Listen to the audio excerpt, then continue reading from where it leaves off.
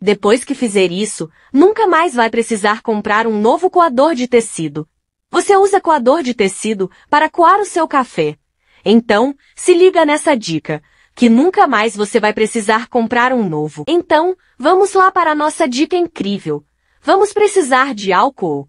Aqui, estou utilizando o álcool líquido, o 70%, mas você pode utilizar o que tiver aí na sua casa. Vou utilizar 5 colheres de sopa de álcool. E agora, vou colocar aqui em cima do coador. Vai jogando e espalhando ao mesmo tempo. O álcool vai nos ajudar muito. Em seguida, vamos precisar do sal de cozinha. Esse passo é muito importante, não perca nenhum passo. Vamos cobrir o coador com sal de cozinha. Adicione uma quantidade no olho mesmo. E agora, vamos deixar aqui de molho, certo? No sal e no álcool por aproximadamente uns 10 minutos. Esse passo é importante. E se você já está gostando do vídeo, deixe nos comentários eu quero ou eu gosto, pois isso é muito importante. Ajuda muito. E já aproveita também e deixa aí para mim a sua cidade. De qual lugar você está vendo esse vídeo, que eu quero muito saber até onde o meu vídeo chegou, tá bom? Ele está saindo aqui de Figueira, Paraná.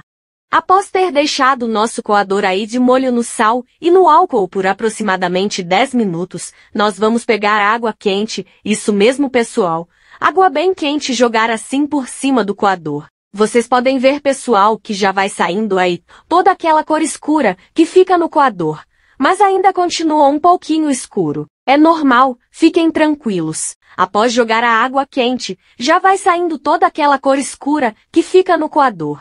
A mágica já vai começar.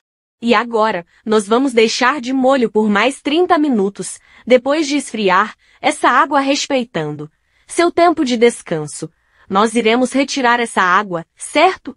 E agora nós vamos lavar novamente o coador. Uma verdadeira mágica, diante dos seus olhos. É incrível, perfeito. O coador vai ficar como novo.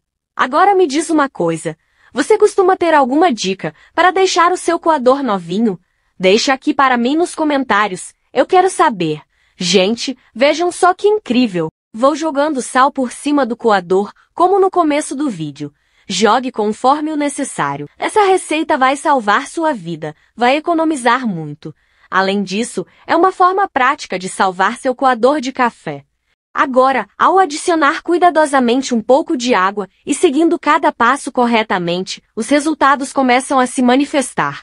A importância de seguir o procedimento à risca fica evidente para garantir resultados consistentes, com suas mãos habilidosas. Prossiga com a esfregação e observe a mágica acontecendo.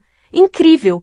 O resultado final é simplesmente perfeito. Funcionou perfeitamente. Se precisar de mais ajuda ou sugestões, Estou à disposição. Lembre-se de aplicar essa dica regularmente para otimizar sua rotina.